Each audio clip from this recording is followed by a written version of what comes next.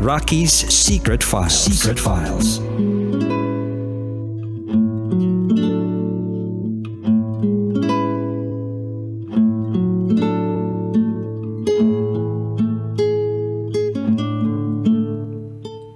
And we're back.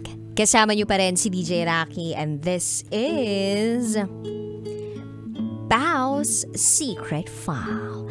Si Pau na namatayan ng minamahal sa buhay. At eto nga po ang kanyang ama. Pinakamamahal niyang ama. Akala lang sa ilalim ng tenga bukol na beke, yung pala, cancer. Oh, dahil dyan, naging okay na ang lahat. Kinapa ang katawan, ang ulo, ang leeg. Tapos may nakapalang na bukol. Sabi, ay, cancer na. Uy, wag pong ganun ah. Although okay naman yung may pagka-OA tayo para at least masiguro natin. Pero wag naman kayo agad-agad mag-conclude na may nakapaka lang na bukol. Ibig sabihin cancer na. So have yourself checked. Masyado lang siguro talagang mahirap tanggapin yung katotohanan na lahat tayo pupunta rin sa kabilang dako. And kung pupwede lang na hindi na makaramdam yung minamahal natin sa buhay ng sakit habang kapiling natin sila. Habang nakikita natin sila, nakakasama natin sila. Sana ganun na lang. But that is not the reality of life. The reality of life is painful sometimes. The reality of life is that all of us will die. Panapanahon lang. Pagkakataon lang. Ngayon po, pakinggan na natin ang mga kabisyo nating nag-share ng kanilang mga thoughts, comments, suggestions, and violent reactions. Ito po ang sabi ng ating kabisyo na si Darwin Russell. Pao condolences sa nangyari sa papa mo at sa tita mo. Maging lesson na ito sa lahat na kapag unang senyales na may nararamdamang sakit sa katawan, much better na magpatingin sa doktor. Huwag tiisin at huwag sabihing malakas ako. Okay lang ako. Para mapagtakpan lang nila yung sakit na nararamdaman. Hmm. Actually, may iba kasi nagpapaka-strong kahit hindi naman dapat magpaka-strong. Always remember that it's okay not to be okay. Kung sakaling bothered ka, worried ka tungkol sa sarili mo, acknowledge it. Sabihin mo sa taong pinagkakatiwalaan mo yung kondisyon mo o nararamdaman mo. Kasi, paano gagaling ang isang sakit kung hindi siya na-diagnose ng maayos? Kaya nga yung diagnosis at an early stage of a sickness, a condition, or a disease is curable at some point. Early detection is key. And at the same time, right diagnosis is also a key. Kasi baka mamaya ikaw lang nag-diagnose sa sarili mo na meron kang ganito, meron kang ganyan, o kaya okay ka lang. Kahit hindi naman talaga. Hindi pa pwede yung ganun. Kasi, una sa lahat, hindi ka naman doktor. Unless doktor ka. Pero yung ibang ang mga doktor dyan eh, humihingi pa ng opinion ng colleagues nila. Lalong-lalo na kung hindi nila specialization yun. So anyway, pakinggan naman natin ang mga kabisyo nating nag-share from Batangas. Robert Jason Tirao says, nakakalungkot talaga mawala ng tatay lalo na't palagi siyang nandyan sa tabi mo. Stay strong, Sander, malalampasan mo ito. Mahalin natin ang taong mahal natin habang nabubuhay pa. Yun lamang po, shoutout po sa buong team Rocketeers. True, nakakalungkot talagang mawalan ng tatay. Actually, in general, mawalan ng minamahal sa buhay. Nakakalungkot. Masakit nandun yung namimiss mo yung tao. Kahit nga yung hindi mo nabalitaan na suma- sumakabilang buhay pero sumakabilang bahay, di ba masakit na yun? What more yung tuluyan talaga siyang sumakabilang ba buhay? So masakit.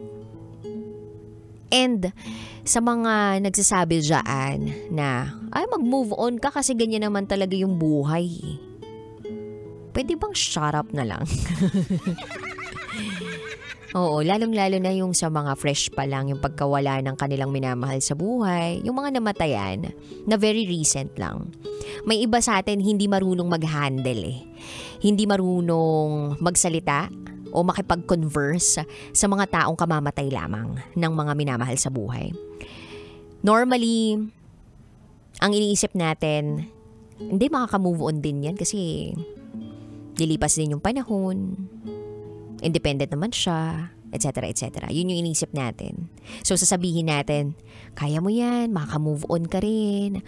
O di kaya naman, um, isipin mo na lang na nandyan siya. Yung ganun ba? Well, pwede naman talagang sabihin yun.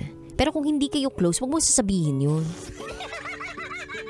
Yung mga unsolicited advice,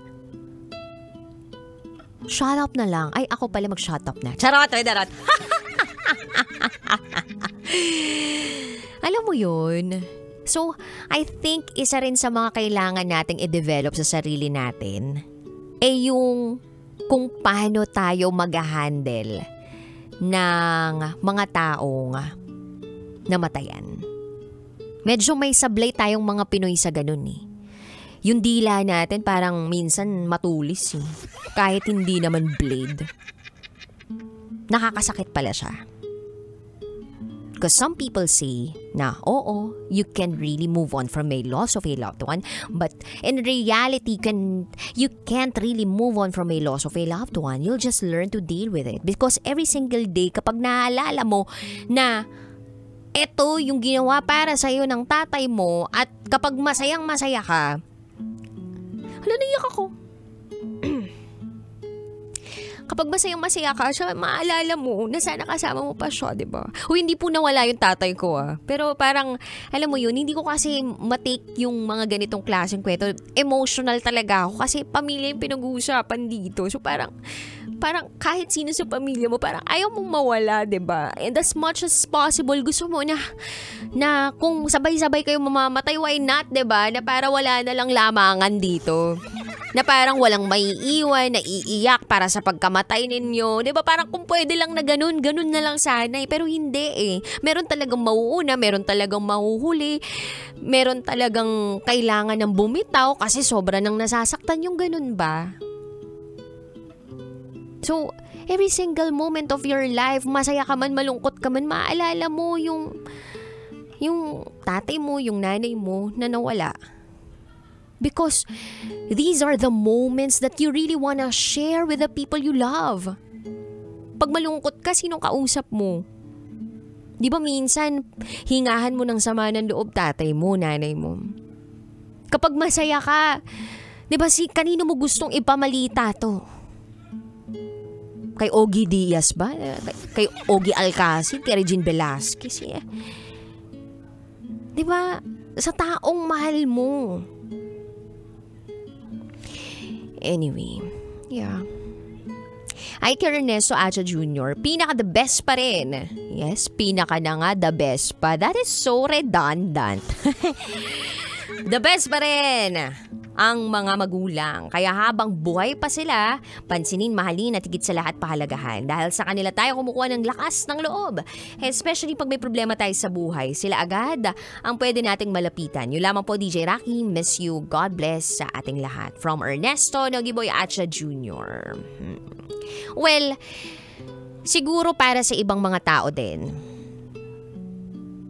na hindi nila close yung mga magulang nila at hindi naman sila naalagaan ng mga magulang nila ng maayos o hindi nagpakamagulang sa kanila. Medyo hindi makaka-relate dito. But just think of someone. Isipin mo lang itong taong to na nag-guide sa'yo all throughout your journey when you were just starting in this world. Isipin mo lang yun. Hindi naman necessarily magulang eh. Pwedeng tita mo, pwedeng tito mo, na tumayong magulang mo na rin, teacher mo. So lahat tayo naka-experience na halos ng pagkawala ng minamahal sa buhay. And kailangan nating i-deal yun. Ito pa sabi ni Igop Motovlog. Relate ako sa SF sender. Mother ko na diagnose sa stage 3 lung cancer. Ayaw naming sabihin sa kanya yung sakit niya dahil ayaw niya na malaman na may sakit siya na malala.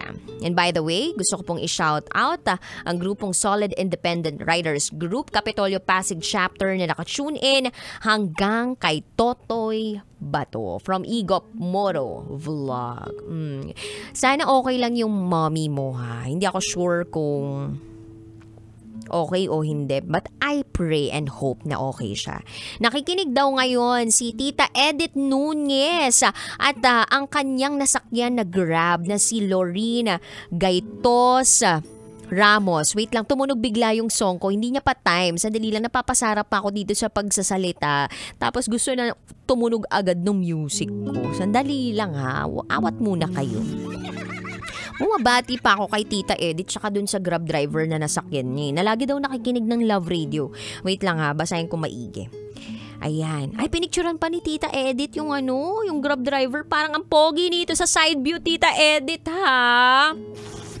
Sa bagay, yung mga grab driver, pag nakatalikod, ang pogi talaga. Pag nakaharap, bait naman, gano'n. Charot, darot. Ayan, Lorraine Gaitos Ramos. Tama ba ako ng pagkakabigas ng pangalan niya? O Lorine? Lorene? Tama ba, Tita Edith? Not sure ah. Sige. Ayan, tama, tama daw ako. Thank you, Tita Edith. Ingatan niyo po yung uh, pasahero niyong yan ah. Kasi masarap pong magluto yan. Tsaka higit sa lahat, masarap yan. Magmahal. Charot ah, with Harot. So anyway, ang dami pa pong nag-comment sa ating secret file for this afternoon. And masasabi ko na hindi naman na to bago Etong mga ganitong klaseng sulat o secret file na nababasa ko sa programa ko ay hindi naman na bago. Yung nagsishare about their journey uh, sa pagkawala ng kanilang minamahal sa buhay. But it's good to have someone na pwede mong hingahan ng saloobin mo o ng sama ng loob mo ng kahit anong nararamdaman mo. Yung maging vulnerable ka lang yung ipakita mo lang talaga yung deepest and darkest emotions na meron ka. And having someone nang ganun sa buhay mo is somehow consoling, somehow comforting. Yung someone na makikinig sa iyo. Kasi ito yung mga klase